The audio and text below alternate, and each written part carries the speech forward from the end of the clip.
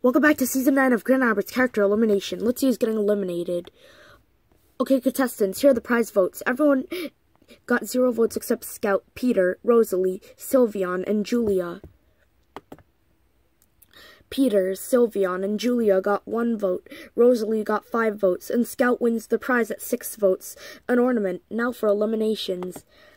Everyone except William, Sylveon, and Fred are safe at zero votes. William and Sylveon are safe even at two votes.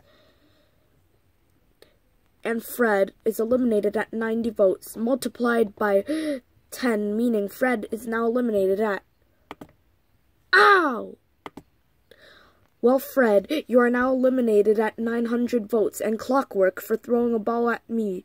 You will be eliminated too. Let them stay, or else I will. Your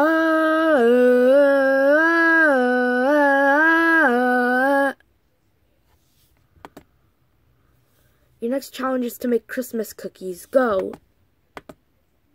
Time's up. Let's taste test your cookies. Scouts team, you're up first.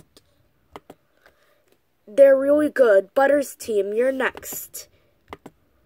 That's disgusting. What did you put in that? Was that icing sugar or what I think it is?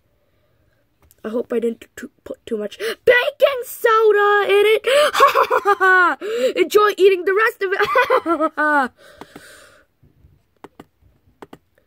Do you have a mind or something?